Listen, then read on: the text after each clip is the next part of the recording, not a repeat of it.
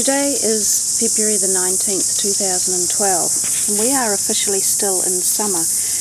However, I'm making this video to show you all obvious signs of um, seasonal shift. They're quite dramatic signs.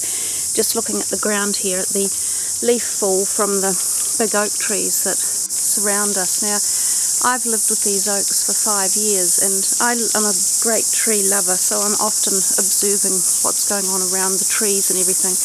This year for the first year I noticed the trees in when they were coming in for their spring growth earlier in the year in, in 2011 they were very late to come in and then I noticed in December the formation of acorns on the tree which I thought was rather unusual.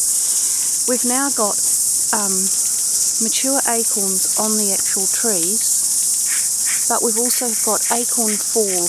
We've got ripe acorns falling in February.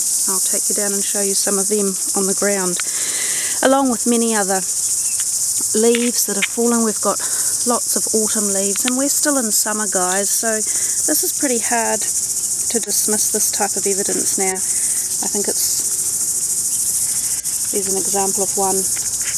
It's not just the oak trees that are doing this. There are many deciduous trees that are showing extremely early signs of season change. And in fact, some of these acorns have been down on the ground long enough that we've even got small little oak trees growing up out of the grass. So something's going on. This is a very specific climate or seasonal shift. It's not just one tree. There's other deciduous trees that are showing the signs. I had strawberries blooming in the middle of winter last year, which I made some videos of. You know, we're looking around, it's February, it should still be peak summer, and we've got leaves everywhere. We've got um, full uh, acorns falling to the ground. They've been down here for a little while now. Mature acorns off the tree in February.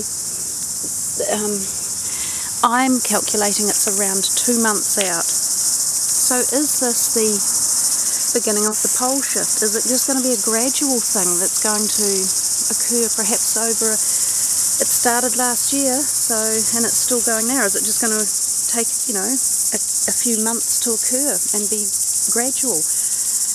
Who knows, but it's worth keeping your eye on because there's definitely been a shift involved. Heads up.